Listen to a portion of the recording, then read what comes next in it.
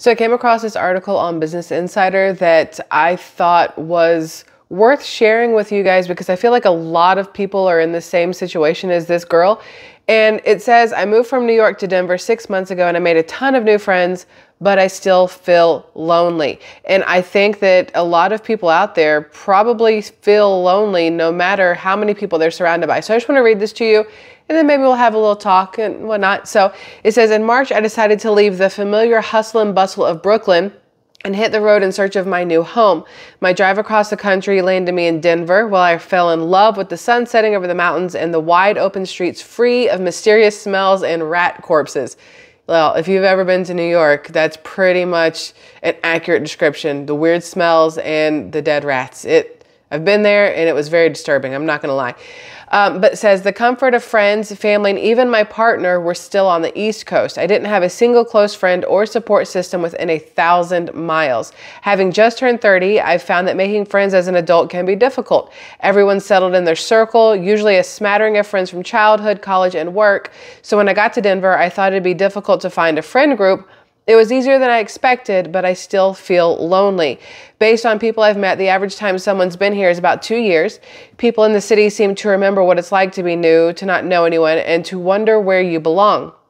As a result, I've done a social activity in Denver without walking away with about five new friends, uh, several phone numbers, and plans for the next three weeks. No, as a result, I've never done a social activity in Denver. I read that wrong. That one word is very important. As a result, I've never done a social activity in Denver without walking away without with about five new friends, several phone numbers and plans for the next 3 weeks. The warmth of the people here exceeded my wildest imagination. When I'd meet someone new back in New York, they'd say, "Hope to see you around," with the mutual understanding that you'd never see each other again. In Denver, when you meet someone, they'll say, "You're so awesome. Can I have your number so we can hang out?" Out. I'm actually having my bridal shower next week and I'd love for you to come. This isn't an exaggeration. This happened to me. So I moved to a new state and within two weeks I had a full social calendar. Through the lens of group pics and Instagram stories, I'm living the dream. But so much more is happening beneath the surface. I've realized that companionship isn't about being in a room full of people or having plans every day. It's about feeling seen and understood. It's about feeling like you have people who truly care, who will prioritize your needs and who can you can be your whole self with. Denver's friendliness and inclusive I can not say this word Denver's friendliness and inclusivity mean that if you invite someone to hang out, they'll also invite someone to join who will invite someone else to join and so on. This leads to dinner reservations for tables of eight and house parties where you say hello to 50 people, but end up not having a single meaningful conversation. Encounter center on superficial topic like weekend trips, who's dating whom, and the previous night's debauchery. While everyone I meet is fun and warm, I'm struggling to find deeper one on one connections. I want to hear about how you grew up, about your family's dynamic, what you're struggling with, and what lights you up in life. I want to create a safe space for true vulnerability and honesty. It's this level of connection that allows you to turn your friend, turn to your friend when a party sucks and say, Let's get out of here. It's what allows you to respond truthfully when you're not okay, when your friend asks how you're doing. I have a finite amount of energy to give. I want to make sure I'm investing in people I foresee being long term friends. So, when a new friend I want to get closer to extends my invitation to hang out to others, I ask at this time it just be the two of us. Instead of sticking with standard conversation topics, I, I share when I'm not okay and ask for the same vulnerability in return.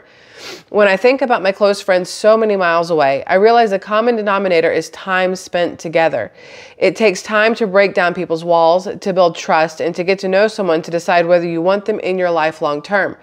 The best part about Denver is getting to know people happens on ski slopes and mountain trails, paddle boards, and brewery rooftops. It's a city alive with things to do and ways to connect outside restaurants and bars. I'm optimistic this will help me form deeper, authentic connections based on mutual interests and new adventures.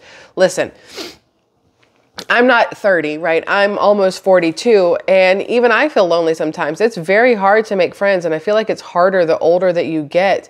Um, I thought I'd made some friends here in Florida once we moved, but then those married friends started having marital problems, and there went our friends. Uh, it wasn't any deeper than surface, it seems, and that sucked. I expected them to be lifelong friends, and that did not work out the way I had hoped for. And so then it makes you a little skittish when it comes to trying to find new friends, especially because everybody is so busy these days, especially as you get older. You have careers, you have families, you have things you're already invested in. And when somebody new comes along, it's hard to take away some time to give to a new person, especially if it's time you're taking away from yourself or from your family, right? And so I feel like people who have been able to stay friends with friends from childhood, from school, from college, those people are luckier than they realize because they made friends, lifelong friends, before life really got in the way and really um, took up most of the time to where friendship making became more of a back burner kind of thing. And even with people you've known for a long time, of course, you're still going to have superficial um, like conversations, that's totally fine and totally normal. How's the weather? What what'd you have for lunch? Blah blah blah. There's nothing wrong with that. But it's also really nice to have somebody you can turn to and say, "Hey, I'm not feeling okay today. I don't know what it is. My brain just it's sad or it's mad or it's uh, upset. It's whatever." And you can have somebody to have those conversations with. And I know people will say, "Well, you have your spouse, you have your family." But it's not the same. Sometimes you want to have a conversation about something that you don't want to have with your spouse, about how you're feeling unattractive or how you're feeling overwhelmed or whatever else. And you just want another female that you can kind of lean on or let it out to who has been in the same situation or is in the same situation and can understand where you're coming from. And you don't want to, you know, do that, have that conversation with your mom, your dad, your brother, your sister, because you're going to get that suck it up buttercup response a lot of the times from family, right? So uh, it's really hard to be a person without a really, really close friend to have those conversations with. And I haven't had a really, really close friend um, probably since before the pandemic. And it sucks that the pandemic for a lot of people took away those close connections that they had when everything kind of shut down for a while and people stayed home and stopped going out and meeting new people. It also hurt those relationships that were already existing in a lot of spaces where you didn't go to work anymore. So there goes your work friend, the one person you could talk to about stuff, or there goes your gym partner, the person you would hang out with at the gym, and now you don't talk to them anymore, or the other mom that you would see on, you know, play dates for the kids because those have gone away. And then once everything opened back up again, people had already kind of gotten used to just holding everything in, not really going out anywhere. And I think that a lot more people are lonely today than they were in 2019, but I don't know how many people really talk about it. Like, I'm lonely some days, and not because I don't love my husband and my child, and we talk about everything all the time, but sometimes I want that female female hangout time. I want to go get my nails done with somebody. I want to shoot the shit over coffee or a mimosa with another female and talk about, you know, random girl stuff that a guy just isn't really going to understand. And it sucks that it gets, it feels like it gets harder and harder the older you get and the more life you have around you. Again, job, kids, whatever else. And then heaven forbid you have numerous kids and you have a big family and you have uh, more than one job or you're taking care of a, like whole big things. You know what I mean? Like, I feel like there's more people out there that maybe don't even realize that they're lonely. Like they know there's something, but they can't figure out what it is. And it's because they're lonely. They need somebody to talk to. So I'll just put it out there. If y'all need somebody to talk to, I'll talk back. Like I like having conversations with people and I think it's good to have somebody who is blunt and honest and open and doesn't judge. So if you need that person, uh, I'll be here for you.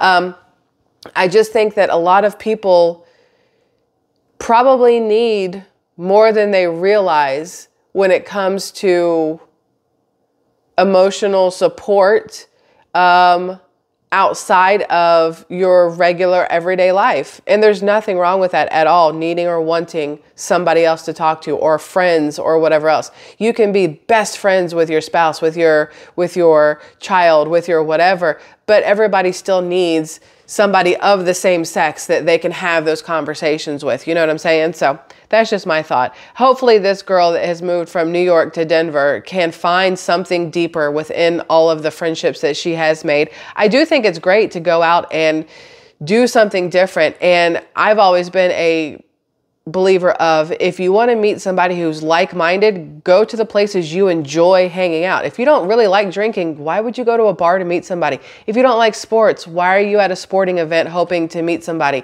If you like dogs and your dog is your most important thing in your life, hang out the dog park. I'm sure you'll meet somebody else who feels the same way you do about dogs or or whatever else. If you like books and you'd rather how, uh, you know, talk to somebody about what they read yesterday. Hang out at the bookstore, the library, something like that. If you love the favorite, your favorite thing in the world is coffee and just chilling, go to a coffee shop and hang out. I can guarantee you there will be people in there. But the thing is, you also have to be able and willing and open to stepping out of your comfort zone and just randomly saying hi to strangers, which is so incredibly difficult for a lot of people. But if you see an opening, take it. If you're somewhere and you see somebody reading a book that you've read or you want to read, there's your shot. Oh man, I loved that book. What do you think so far? Oh man, I've been dying to read that book. What do you think so far? It's really easy to have those super simple opening lines. You just have to be willing to